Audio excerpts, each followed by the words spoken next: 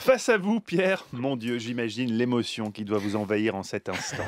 Vous cherchiez à prouver son existence depuis si longtemps. Cette barbe drue, ce regard humain, mais cette pilosité simiesque, cette odeur aussi fortement musquée. Disons les choses, oui, le Yeti existe et il adore les côtes de bœuf. Bonjour Cyril Lacarrière. Bonjour Mathieu Noël, bonjour les vaches. Chaque après-midi, Cyril, vous nous racontez l'origine de notre...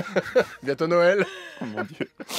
L'origine de notre thème du jour, c'est vous qui avec un hibou ça. sur son pull. Oui, qu'est-ce que c'est que ce switch ce- Vous avez voulu mettre un sweatshirt de Noël là, mais c'est un peu raté. Ça fait peur, ça fait peur Non, plutôt qu'autre chose. Alors dites-nous, Cyril, la cryptozoologie, d'où ça sort? De la tête d'un Écossais. Avait-il abusé de scotch? L'histoire ne le dit pas. Toujours est-il que c'est le sociologue Ivan Sanderson qui en crée la dénomination au début des années 60. Sanderson invi- invente en fait un mot pour décrire son travail et celui de nombreux autres scientifiques, l'étude de cas d'animaux seulement connus de témoignages ou parfois de photos pas toujours crédibles de prime abord. Ils sont quelques-uns comme ça, le Yeti, l'abominable homme des neiges, le monstre du Loch Ness ou encore les témoins des micro-trottoirs de Quentin-Luc. Enfoiré. Je crois que c'est le mot qui, est- qui qui a failli sortir de sa bouche. Il s'est retenu. Moins il s'est 7 retenu. sur le quiz. On se dirige carrément vers un licenciement en 2023. Je pense à ce stade. On peut parler de licenciement, le mot est lâché. Continuez, Cyril, s'il vous plaît. On rappelle que Cyril est notre rédacteur en chef. Je vous le rappelle à vous aussi, Quentin, visiblement vous l'oubliez. Ivan T. Sanderson va devoir publier un ouvrage référence sur le sujet. Attention, titre à rallonge. Abominable Snowmen, Legend Come to Life. The story of subhumans on five continents from the early ice age until today. Oui, voilà.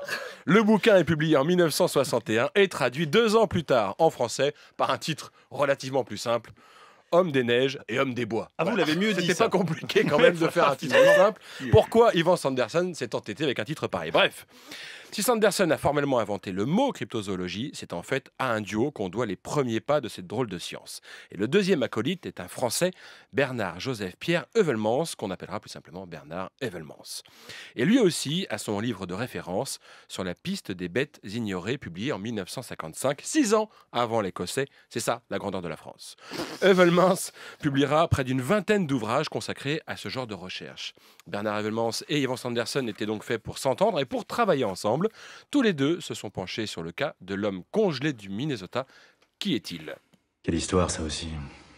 Vous ne nous dites pas qui c'est? Non, moi je ne sais pas, mais notre invité pourra probablement vous aider. On va en reparler.